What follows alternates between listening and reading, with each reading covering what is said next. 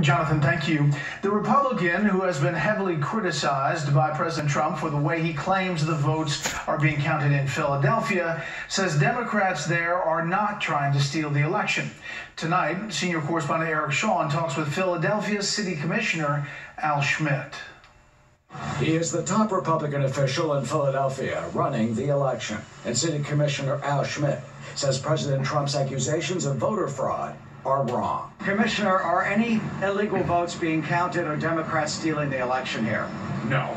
The only votes being counted by the Board of Elections at the Pennsylvania Convention Center are votes cast by eligible voters on or before Election Day. The president says there's, quote, a mountain of corruption and dishonesty here. Is that true? No, it's not true. The president says observers were not allowed in the counting rooms. Is that true? That's totally untrue.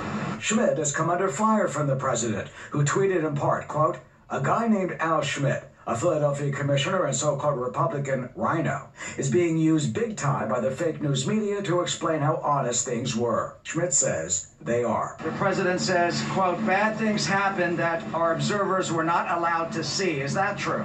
Absolutely not. We, we've seen observers from the Democratic Party and the Republican Party, from the Trump campaign and from the Biden campaign more than we've seen our own families. He fears election misinformation will undermine Americans' faith in our democracy. Case in point, the president's attacks on Dominion voting machines. He retweeted a report that, quote, Dominion deleted 2.7 million Trump votes nationwide. 221,000 Pennsylvania votes switched from President Trump to Biden. But experts say that never happened. And election officials say any initial issues were human error that were corrected. And then there is this claims that a secret supercomputer called Hammer uses software called Scorecard to steal millions of votes from the president and award them to Biden. The Department of Homeland Security and cyber experts say that is not true. All examples of more disinformation. It isn't a danger of one candidate winning or another candidate winning.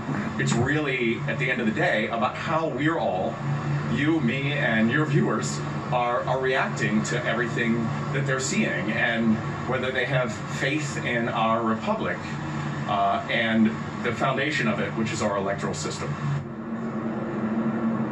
Well, tonight, Dominion issued a statement categorically denying that its machine switched any votes, calling that misinformation not based on fact. As for Commissioner Schmidt, he says voters can rely on the results and trust American democracy. That ironically was born just a few blocks from where I am standing now at the convention center, back then at Independence Hall. Brett?